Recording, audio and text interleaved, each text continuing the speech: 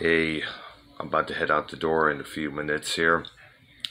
First, I want to send a little message to Mr. Devon Nicholson, aka Hannibal, aka Blood Hunter. And it's a simple little message here.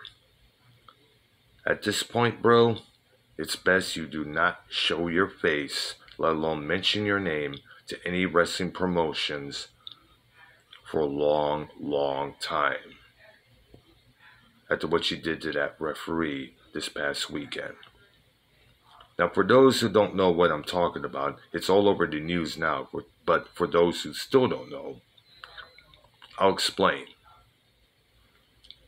There was an indie show. Blood Hunter was defending his Texas Championship belt against the former Carlito.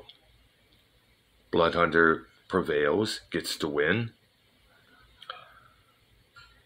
Then, out of the blue, for some dumb reason, referee Lando Del Toro gets attacked by Blood Hunter. Blood Hunter starts stabbing Del Toro in the head with an iron spike multiple times. The reason for this, we do not know.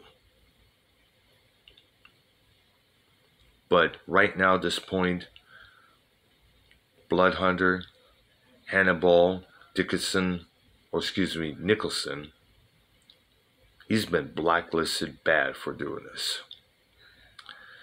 Now, the last wrestler who did this was, you remember, Sexy Star, who at a AAA event in Mexico purposely broke the left arm of Courtney Rush who was performing under her alias, Rosemary, the demon assassin, who currently wrestles in Impact Wrestling. Many people responded uh, with uh, lots of hate towards this woman. Cody Rhodes, who was at Ring of Honor at that time, said she will never be allowed in our dressing room for sure.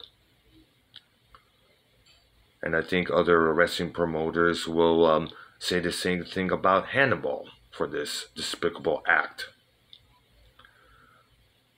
Now, Del Toro is at home. He's recovering. He has a lot of stitches in his head there. There's already a GoFundMe set up for him to pay for the medical expenses, which is down below.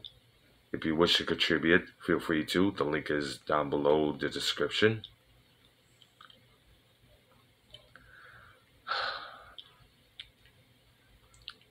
It just pisses us wrestling fans off when someone has to take it upon themselves to do what they do what they call excuse me, let me rephrase that, do what they call quote unquote go to business for themselves.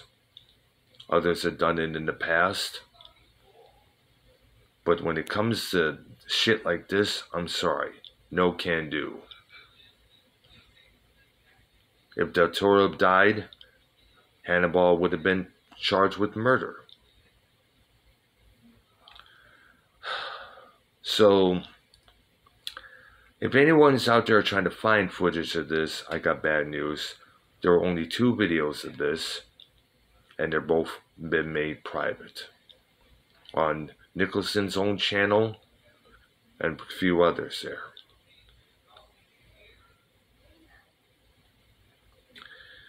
So, Nicholson, you better take some time off, bro. Or better yet, it's best you stay away from any wrestling activity for the long time being. Cause, Cause dude, you've been blacklisted all the damn hell. Leave your thoughts and comments below. Hit that like button. And once again, if you wish to donate to help Mr. Del Toro out with his uh, hospital bills, the link is in the description for his GoFundMe. And subscribe to my channel. I'll see you guys later on tonight with YR, Keith, and Arknoia. Bye bye.